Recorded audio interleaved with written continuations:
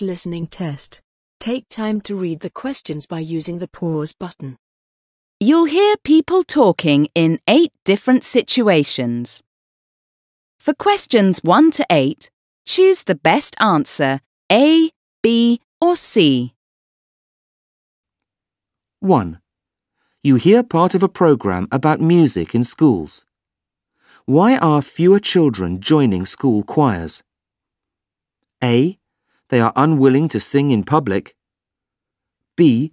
Their parents don't encourage them to sing. C. Their teachers lack the necessary musical skills.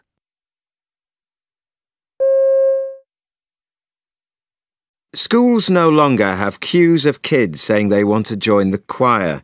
It never used to be difficult to get children involved, as all primary school children used to learn to sing in class. Unfortunately, this practice has declined in recent years, and I'm sure most parents would agree with me about the reason for this. Fewer of today's teachers feel confident to lead the singing, let alone accompany it on a keyboard.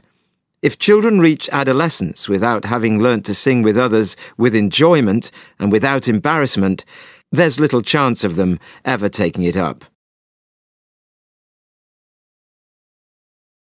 2.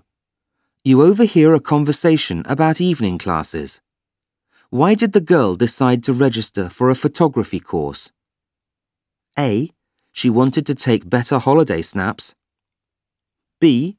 She thought it would help her in her career. C. She needed a relaxing change from her studies.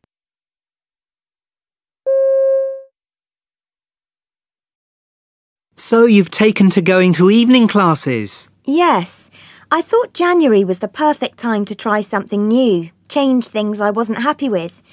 The course in digital photography sounded ideal because it's so different from my coursework at college, which was overloading me and making me feel anxious. Right.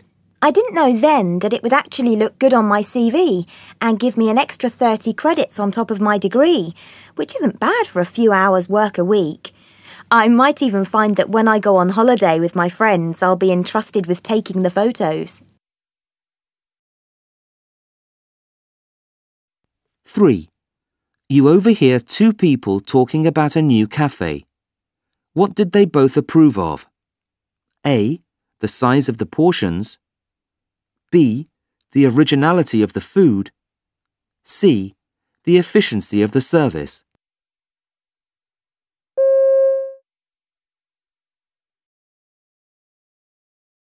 Well, I reckon Cafe Promo's doing well.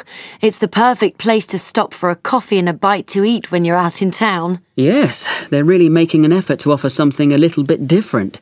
They obviously want to stand out from the more predictable coffee chains. And they do great baguettes and sandwiches with really generous fillings. Rather too generous for my liking, but good value, I guess. People want something a bit out of the ordinary, and they've certainly succeeded in doing that. Now they need to pay more attention to training their staff, but I think that'll come. It may do. Hmm. 4. You hear a man talking about exploring underground caves. What is he? A. An experienced caver. B. A journalist. C. A student.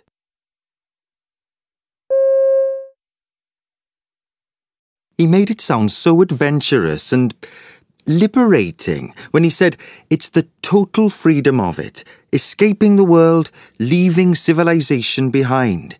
It's like exploring outer space. After that, I changed my mind about caving. What had previously seemed a rather puzzling, even unappealing pastime became a passion thanks to the enthusiasm of this instructor. I was joining a group of other college students, and together with a TV journalist and camera crew, we were off to discover the realities of life underground. I hoped that I wouldn't make a fool of myself on television. I was more frightened of that than I was of the actual physical and mental challenges ahead of me. 5. You overhear a woman talking about a job interview she had. What does she say about it? A. Some of the questions were unfair. B.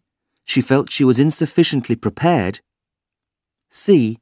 The interviewers put her under pressure.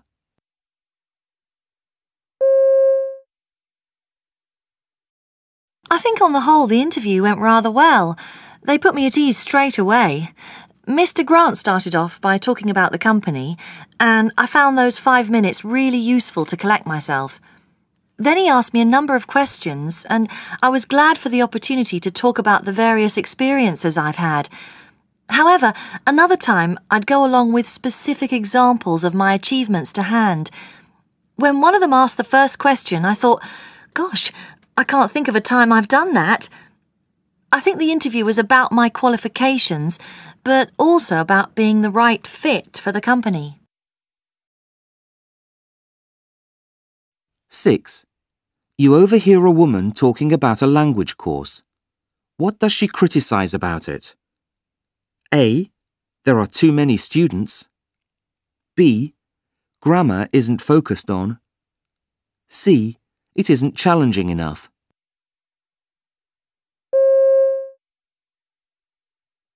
I've just finished my first year and I have some good things to say about the course. I thought it would be all girls on it, but I was surprised to see how many guys there are. I've gained a basic knowledge of the language. Spanish grammar isn't easy, I can tell you. I've been told it all gets more intense from September. I was hoping I'd be thrown in at the deep end, that I'd be fluent by the end of the year. It's disappointing. That won't happen now. Most of my classmates are doing other languages as well, and they're happy with this pace. 7. On the radio, you hear a man talking about food. What does he do? A. He's a shop owner. B. He's a cookery writer. C. He's a chef in a restaurant. My whole life has been talking about food, really, though I've never been tempted to write about it. Me and my wife, at dinner, we'll sit, eat, and talk about where we're going to source a new product from. I get excited about how we present food on the shelves. Sometimes I even get excited about the boxes food comes in, or the way the grower has presented it. I like to provide the local restaurants with food that is fresh and to support local farmers and small growers. I've been interviewed for radio and television twice, so I'm really concerned I might become a celebrity one of these days.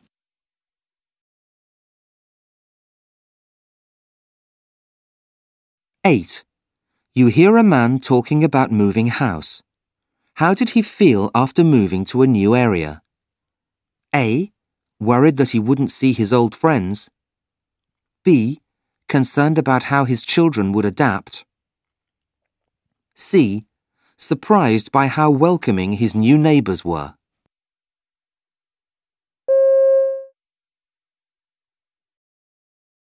I moved here with my wife and children three months ago, from the city. We wanted a quieter life.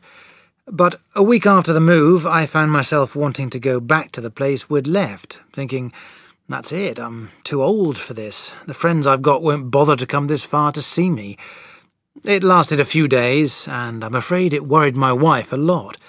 She'd keep telling me how nice the people next door were, how they'd given us this lovely bunch of flowers, how the kids had already made some friends. She didn't understand it wasn't about that at all.